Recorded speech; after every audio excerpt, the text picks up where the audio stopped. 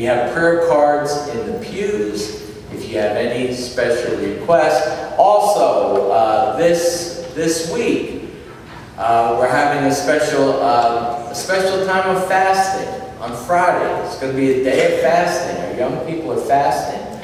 And uh, uh, many of us older people will be joining with them.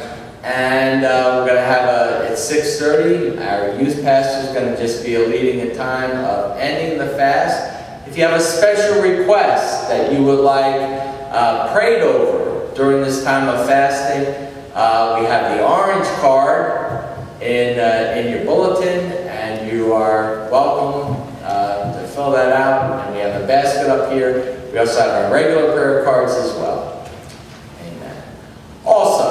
On the first Sunday of the month, when we have Communion Sunday, we usually have a special offering.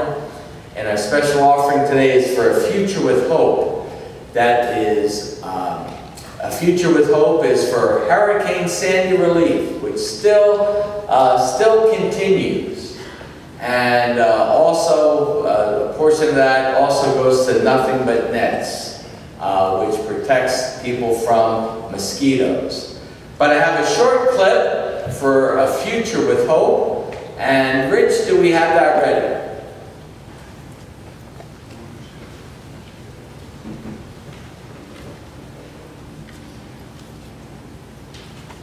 There we go. Ready? Okay, this is a three minute long clip that will explain a lot about the mission and ministry which is sponsored by our Greater New Jersey Annual Conference, which we are a part of, for a future with hope. Thank you. Amen. God bless. We took about six and a half feet of water down here.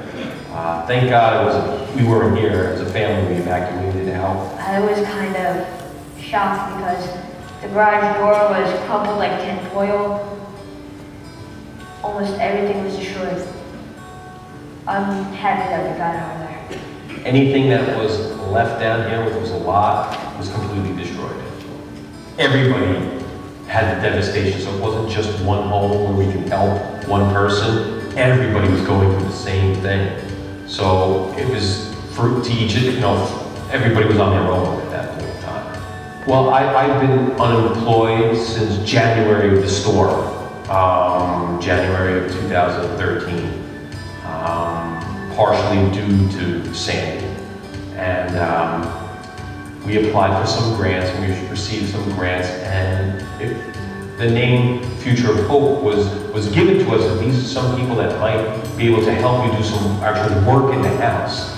And from there on, it was just on the go. It was just moving. Everybody was, was saving grace. Future with Hope definitely was definitely our saving grace. What did they do for us? It would be I would rephrase that question and say, what didn't they do for us? First group of volunteers that came uh, to help um, from uh, West Virginia and Maryland. Uh, uh, my buddy Jim and Candy and Jeff Palm and all those guys. Uh, they came in and said, you know what, we can do it. It was just incredible. A lot, a lot of laughs and a lot, a lot of laughs. Uh, and I have many friends. All the groups were great. All the groups were great, whether they were from Galveston, Hilton Head, Virginia. We even had some from Deptford, which was our local. Uh, Nebraska, Team Nebraska. Awesome. Great, great people. And even the first bunch of kids that came from Colgate University uh, helped me for two days drywall down here. Oh, that, that was, because that, that's a lot to endure, that smell. Uh, but that was just incredible. I'm just getting goosebumps just remembering all, all the gang. It's just uh, my our extended family.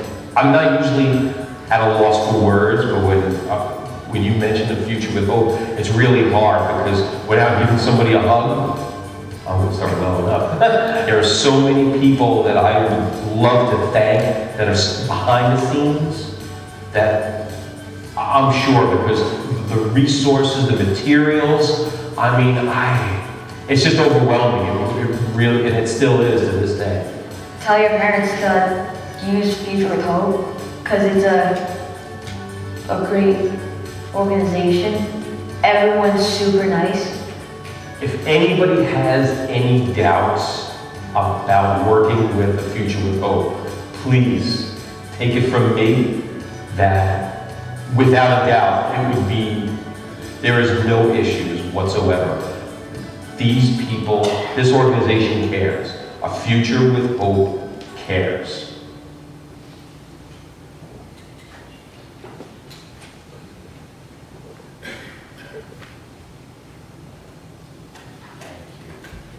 Future with Hope continue to do, we've done like well over 125 houses. And uh, this is by, uh, this is by our annual conference, which we are privileged to be a part of. Amen. It's good to be in the house of the Lord. This is communion, this is our communion Sunday at Asbury United Methodist Church. We have an open communion table, which means that all who wish to follow Jesus Christ as their Savior and Lord are welcome to receive from this table. Amen. At this time, let us come before the Lord in an attitude of prayer.